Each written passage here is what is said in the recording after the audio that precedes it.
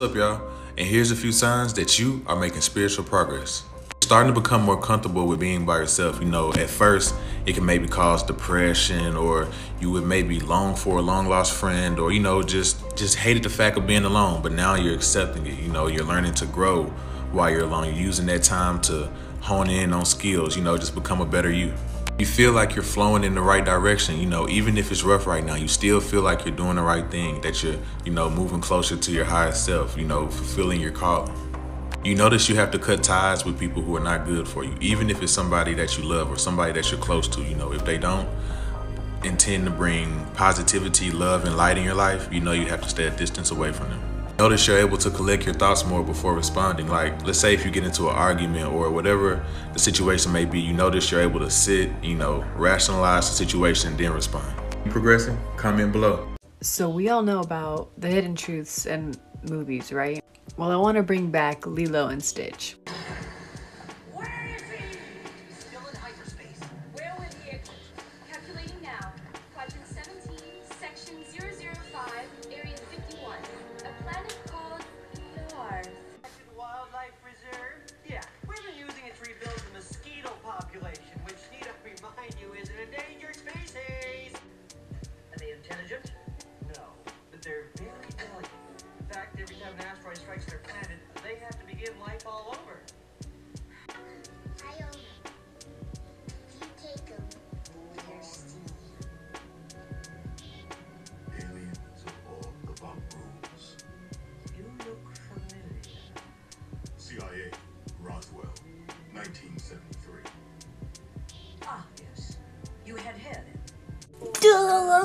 Come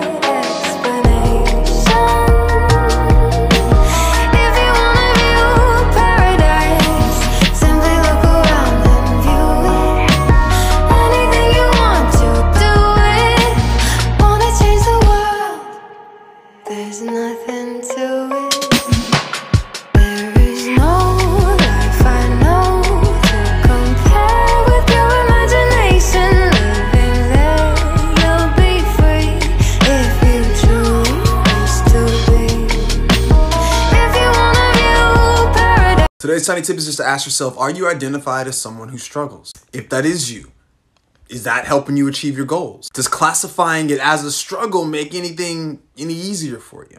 Who would you be if the life situations that you were experiencing weren't a representation of struggle, but just were? Who would you be if you approach all of those situations from a level of openness and curiosity? Who would you be if the struggle wasn't real? The universe will repel that which no longer aligns with your frequency it will physically try to remove these things from your life. So when you try harder to keep them, it will try harder to remove them because you cannot flourish while still holding on to that which diminishes you. Think about this nothing in the world is good or bad. It is our own judgment of a situation based on our perception that is very biased and very limited that determines whether something is positive or negative, good or bad, any extreme. So here's a story from A New Earth by Eckhart Tolle that illustrates this idea beautifully. There was a wise man who won an expensive car in the lottery. His friends and family were very happy for him and came to celebrate. Isn't it great? They said. You are so lucky. The man smiled and said, Maybe. For a few weeks, he enjoyed driving the car. Then one day, a drunken driver crashed into his new car at an intersection and he ended up in the hospital with multiple injuries. His family and friends came to see him and said that was really unfortunate. Again, the man smiled and said, Maybe.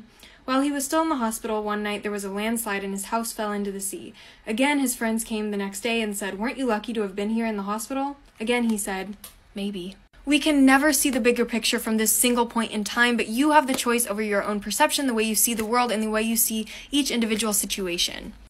Five alkaline herbs that are life changing.